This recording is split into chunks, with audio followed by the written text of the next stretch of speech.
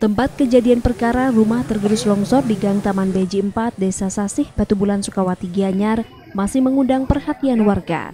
Silih berganti kerabat korban mengunjungi lokasi ini.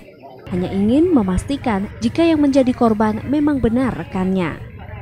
Salah satunya Iketut Suece, rekan korban yang pernah diajak bekerja di lokasi tempat korban. Ia merasa sangat terpukul dengan kejadian ini. Sebelumnya ia mengatakan lokasi ini adalah tanah kosong yang hanya ditubuhi ilalang. Namun dengan perkembangan saat ini menjadikan lokasi ini sebagai perumahan bahkan hingga di sempadan sungai. Hal ini pula yang menyebabkan rekan korban ini menjadi sangat menyesal membeli rumah di pinggir sungai yang curam. Jadi Pak jauh-jauh ke sini hanya untuk melihat situasi ini ya sekarang. memastikan kebetulan dulu uh, adik karyawan ki dulu waktu di Beri yang yang ngetes Ah, gitu. jadi sebelum masuk Beri dia yang sekarang masih opnamo. ya Ya, ya. yang bapaknya itu ya. maksudnya. Sementara itu empat korban saat ini masih ditempatkan di ruang jenazah RSUP Sanglah.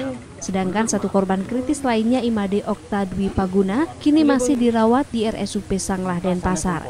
Nyoman Sudarmika, Kompas Dewata.